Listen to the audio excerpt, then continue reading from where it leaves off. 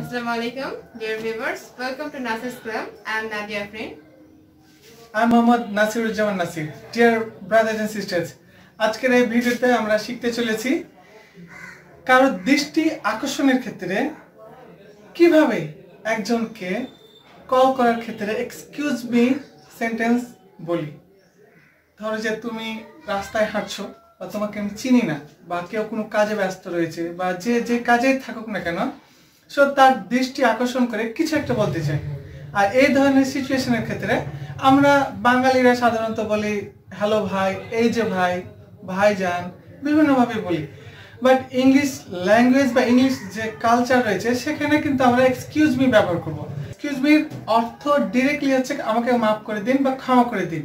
যদিও বা আমরা ক্ষমা চাওয়ার ক্ষেত্রে এটা একেবারে ডিরেক্টলি ইউজ করি যে এক্সকিউজ মি প্লিজ তবে এখানে ক্ষমা চাওয়ার অর্থ এটাই যে আমার যাতে কোনো কিছু ভুল না হয় বা মাফ করবেন আমি একটা কথা বলতে চাই। এই যে এই ধরনের সুন্দর ভদ্রভাবে কথা উপস্থাপনের ক্ষেত্রে আমরা আগেই ক্ষমা চেয়ে নিচ্ছি। এই জন্যই কিন্তু আমরা এক্সকিউজ মি বলছি। সো দৃষ্টি আকর্ষণের ক্ষেত্রে আমরা কীভাবে এটা বলি এবং কোন কোন সিচুয়েশনে বলি সেটা নিয়ে আমরা ব্যাখ্যা করব আজকে। Excuse me, sir. Yes please Can you help me, please? Definitely How to go to exam university? uh, how to go to Exim University. You just get down from this rope and you will take a rickshaw and you will ask for fare and that rickshaw will take you to Exim University which is near Borindara. Thank you so much, sir, for helping me. Excuse me শব্দটি আমরা আসলে বিভিন্ন ক্ষেত্রে use করতে পারি ধরো হচ্ছে তুমি একটি অফিসে কাজ করছ আমি এখন আমার একটা কাজের জন্য তোমার কাছে গিয়েছি তুমি যেহেতু অন্য একটা কাজে মনোযোগ দিয়ে আছো সেক্ষেত্রে এক্সকিউজ মি স্যার বলে আমি আমার বক্তব্যটা শুরু করতে পারি। অথবা ধরো যে তুমি রাস্তাতে দাঁড়িয়ে আছো আমি আমি আহ, নবাবগঞ্জ গভর্নমেন্ট কলেজ যাব। আমি চিনি না সেক্ষেত্রে আমি তোমাকে বলতে পারি excuse me sir excuse me sir can you help me বা excuse me sir how to go to Nabaganj government college এভাবে আমরা শুরু করতে পারি। ধরো যে তুমি রাস্তায় দাঁড়িয়ে আছো এখন আমি একটা জায়গাতে যাব, আমি সেই জায়গাটা চিনি না। এবং যথেষ্ট রিল্যাক্স মুডে তুমি আছো, এবং আমারও সময় আছে। সেক্ষেত্রে আমি তোমাকে প্রথমে যেটা বলব, সেটা হচ্ছে excuse me sir excuse me sir can I have some time মানে এক্সকিউজ মি আমাকে ক্ষমা করবেন, মাফ করবেন। আমি কি একটু সময় পেতে পারি? Can I buy some time buy মানে এখানে ক্রয় করা, যার অর্থ ব্যাপক অর্থে ইউজ করেছি এখানে। মানে কিনে নিতে পারি আপনার কাছে একটু সময় কিনা, সেটাই জানতে চাচ্ছি। অথবা আরও বিভিন্ন প্যাটার্ন রয়েছে, যেমন can you give me some time or can I have some time or would you please give me some time R can I have a moment অথবা can I have a couple of minutes মানে অনেকগুলো style আমরা use করতে পারি।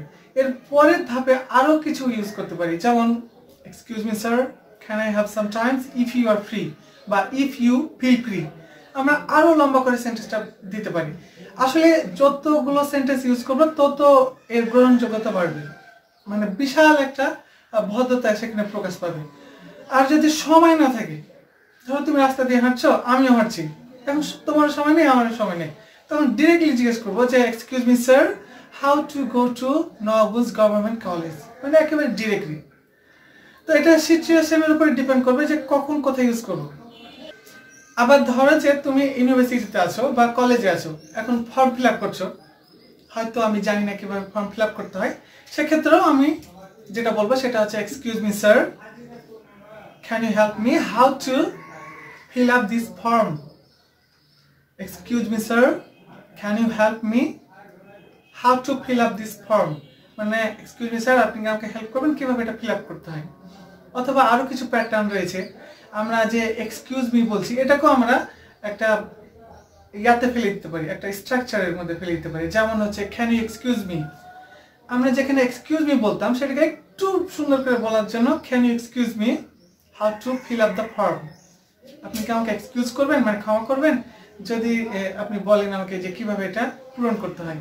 So যে কোনো জায়গাতেই কারও দৃষ্টি আকর্ষণ করার ক্ষেত্রে এক্সকিউজ মি শব্দটা ব্যবহার করব।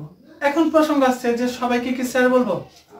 গভর্নমেন্ট অথবা নন গভর্নমেন্ট যেই হোক না কেন এডুকেটেড লোক হলেই হলো, সে চাকরি করে অথবা না করে। যে কোনো লোকই হোক না কেন, ভদ্রতা প্রকাশ করার ক্ষেত্রে আমরা স্যার সম্বোধন করে কথা বলব, অথবা ম্যাম বলেই কথা বলব। এটা একজন কনস্টেবল হতে পারে, একজন সার্জেন্ট হতে পারে, একজন যে কোনো পুলিশ অফিসার হতে পারে, যে কেউ হতে পারে। সে এক জায়গাতে দাঁড়িয়ে আছে, আমি তাকে এক্সকিউজ মি বলেই কিন্তু আমি এইভাবে কথাগুলো শুরু করব। আচ্ছা ধরো যে তুমি একটা পার্টিতে আছো, সেখানে বড় বড় মানে বিজনেস ম্যাগনেটেরা আসে। এখন তুমি চাচ্ছ যে তার সাথে একটু কথা বলবে বা অ্যাপয়েন্টমেন্ট নেবে। তখন সেক্ষেত্রে আমরা যেটা বলি excuse me sir can you give me some time বা excuse me sir can I buy two minutes if you feel free মানে এক্সকিউজ মি স্যার আমি কি আপনার কাছে একটু সময় পেতে পারি? যদি আপনি ফ্রি অনুভব করেন। তারপরে স্টেপটা হচ্ছে যে তুমি কিছু একটা বলতে চাচ্ছ। সো সেক্ষেত্রে আমরা বলব আই জাস্ট ওয়ান্ট টু সেই I just want to say বা I I would like to say বা I would like to ask. মানে আমি আপনাকে জিজ্ঞেস করতে চাই। তো এইভাবেই কিন্তু আমাদের সেন্টেন্স প্যাটার্নগুলো একের পর এক সাজাতে হবে।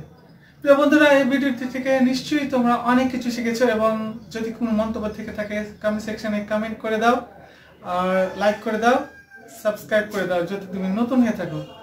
ভালো থাকবে, সুস্থ থাকবে। নেক্সট ভিডিওতে নেক্সট কিছু নিয়ে তোমাদের সামনে হাজির হব। ততক্ষণ পর্যন্ত, আসসালামু আলাইকুম। Assalamu alaikum.